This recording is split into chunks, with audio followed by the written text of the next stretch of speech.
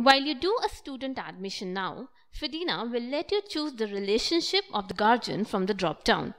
Let's log in as an administrator or a privileged employee to make student admission or edit a student profile.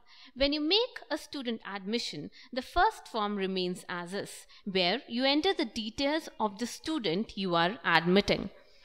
In the second form, you can now find the parent personal details page that will ask you to fill in the relationship from the options available in the drop-down as father, mother or other. You can choose one of them to complete the guardian details. You may enter multiple guardian details and save the relationships for the student.